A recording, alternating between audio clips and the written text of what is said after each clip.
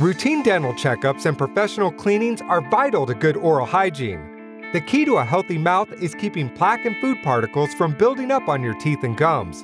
This buildup is a breeding ground for harmful bacteria that can cause tooth decay, gum disease, and bad breath.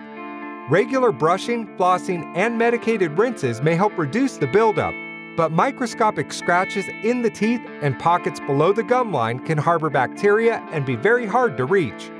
Professional tooth cleaning removes tartar, plaque, and surface stains that can't be removed at home.